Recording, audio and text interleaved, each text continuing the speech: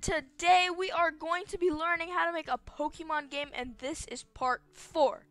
So, uh, I know I haven't uploaded this series in a while, and that is because my recording software has gone all crazy, and, uh, it's finally working again. But, um, yeah. Also, guys, if you do want a shout out in one of my videos, um, then just go follow me on Scratch. I will leave the link to the profile down in the description. Just click the big red follow button and I will be randomly choosing um, three to four to five people every video uh, from my followers and subscribers. All right, subscribe as well. Uh, to for a shout out. And yeah, but anyways, today we're gonna be making a battling system. So, yeah, all right.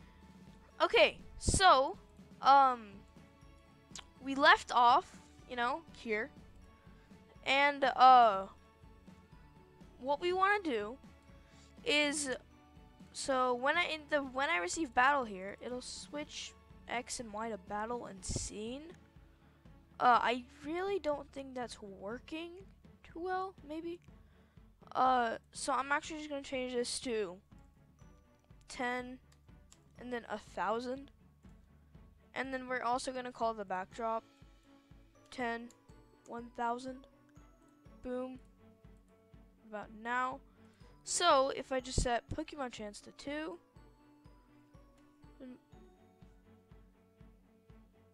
Dang, wait. If X, not X, and in battle is equal, okay. I'm gonna actually have to change this to 1. Okay. Three, one, two. Okay, there. And that does the battle thing. Okay, and then in the when I receive battle, which is in here, uh, we're going to set in battle to yes. And then, um, now let's actually make the battling system. So first we wanted to randomize what Pokemon will be fighting, and for just for the series, I have a Caterpie and a Pidgeot. Uh, boom. All right. And I'm going to create two lists. So one is going to be called Pidgeot Moveset. Uh, boom. And then on, on the other one is going to be called Caterpie Moveset. Boom. Okay? So these are what moves our Pokemon are going to be able to use. Alright? So, we're going to add, so instead of the Pidgeot, we're going to add uh, let's use, let's do slash. So that's gonna be a move. Let's do, uh, peck. And let's do steel wing. Oh, no, no, no. Steel wing. Boom.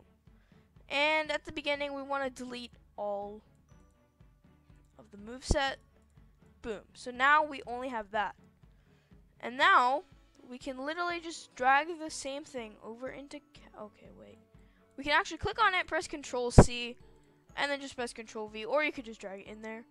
And then we're gonna just do that, but instead of Pidgeot moveset, let's change it to Caterpie moveset, and then uh, change the moves. So instead of slash, let's do tackle. Uh, I don't know what moves Caterpie is. String shot. And then, uh, what other move does Caterpie? What other moves can get Caterpie? Okay, let's make it use, uh, tackle, string shot, and then, you know what? Let's make it use leafage. I know I don't think Caterpie uses that, uh, but you know what? It really doesn't matter. Okay, and Boom. We have all of that there. So, uh, we can hide these two. And what we can do is uh, as actually hide the player first of all. So when I receive battle, uh, oh no, not choose Pokemon, battle, oh, we're gonna hide. And the hitbox. Boom. Okay, now, Uh, let's make a sprite, and this is going to be called the UI background, I guess. And then we're just gonna paint like that, just a little, almost like a ground. And let's make it like a another gray color. So boom. And also, we don't want I outline for this. Okay. And also, um, yeah. And, uh, so let's actually make it choose what Pokemon. Okay, I'm just gonna hide that real quick. Let's make it choose what Pokemon, uh, is going to battle our Pokemon. So in the player, what we can do is in the when I receive battle, we can also make a variable called uh, battling Pokemon. Boom, and then uh, okay, and then we're gonna set battling Pokemon to pick random one to two. All right, and then what we can do is uh, when I receive, oh yeah, when I receive battle, uh, if, and then put an equals to, if battling Pokemon is equal to one, then we can uh just set it uh to Caterpie. Boom. And then I'm just gonna drag that into the Pidgeot. Boom. Oh dang it. Okay. Bam. Oh no no. no. Okay. Boom. Boom. Bap. Oh. Bing. Uh. And yeah. Okay, so after we have this, oh wait, wait, this is actually not supposed to be like that. This is supposed to be a Pidgeot. B-I-D-G-E-O-T. Okay, Pidgeot, that's how you spell it. Alright, and then we'll also make it show. Boom. Also, of course, it's very big, so we'll set the size down to like 50 and then put it there. So we'll make it set size to 50 and then go to there. Boom. And now, uh, yeah, now we'll just copy that over once again to Caterpie. And then let me show Caterpie. If I do that, that is still way too big. So 40? I mean, 40 works. Alright. Now, if I just do this, uh, see, okay, so it's Caterpie. So battling with Cap Caterpie. Also, this uh, UI background, we're gonna hide it at first. Uh, and then go to zero zero. And then we're gonna do an oh no no. We're gonna do when I receive battle. Then we're actually just gonna make a show. Boom. And what? Okay, wait. All right. So, bam. All right, it was Caterpie. Uh, is it ever gonna be Pidgeot? No, it's Caterpie again. It's still Caterpie. Is it? Is that a glitch or? Uh, okay, wait. I'm gonna do that. It's Caterpie. It's two. Sit dot bat. What? Oh, you know what? You know what? We could. I think we need to put um that into one script. So if I just do this, boom. Okay, if I just do that, now battling Pokemon is equal to Caterpie, and then I'll just broadcast Caterpie. I think that'll work. And then I can actually just get rid of that and do when I receive Caterpie. Bam. No. What? It's one No. It's two. Are they actually just showing? Wait, okay. So, if I just wait for the Pokemon, okay. What are they? They're both hidden. Okay, so maybe we just have to do uh, forever if and then put in equals to and then put in battling Pokemon is equal to one. Oh, not Q. One. Then we'll do that and then we'll just duplicate that. Uh, actually, just copy it. Bam. Paste that in there. Get rid of all that. Boom is equal to 2. 50, okay. There, what about that? No, why isn't it showing? What if I put the show at the beginning? Wait. Oh yeah, and then actually, when green flag clicks, set battling Pokemon to zero. And in battle, yes, Pokemon, battling Pokemon. It just needs to show. Uh, why is it not showing? Uh, oh wait, it's because it's in the when green flag clicked. I am so utterly stupid. Wait, that still didn't make a difference. Oh, that, why is that in a forever loop? Okay. I am making very small mistakes. Alright, so, Pokemon chance. See, okay, now, now it shows up. Uh, Pokemon chance, please set to two. Two. Battling, okay, the Pidgeot is messed up. Why is the Pidgeot doing weird stuff? And this isn't. Uh. Okay, that's See the cat the Caterpie is fine. And then the Pidgeot it's not even showing, see? But why is the question? What if I just get rid of all of that, put that up there, and then do that? Because this is supposed to work. What if I reload the page?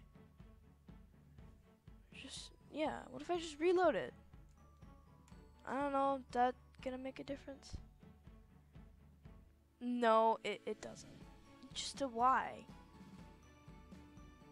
Okay, set battling Pokemon to pick random 1 to 2. And then, how about we put a stop this script? Boom. So it doesn't like keep on, I don't know. Caterpie, okay a Caterpie again. What if I just do that? Okay. Just for now. It's... why is it not working?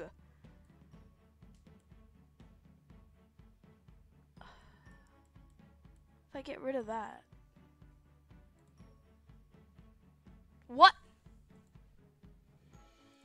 That worked? There is no way that just worked. Really? That.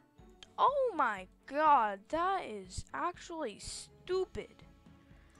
Okay, well, guys, I am very sorry for that. Uh. I did not know why that made a difference. Okay, well, now that that worked, uh, let's make our Pokemon show up here. Okay? So, we're going to do, so, Let's go into the player and do this. We're gonna do when I receive battle. Uh, and then if, and then um, Caterpie moves, not Caterpie moves. If Pokemon list contains Bulbasaur, then we'll broadcast uh, Bulbasaur. Okay, just broadcast Bulbasaur. If it contains Charmander.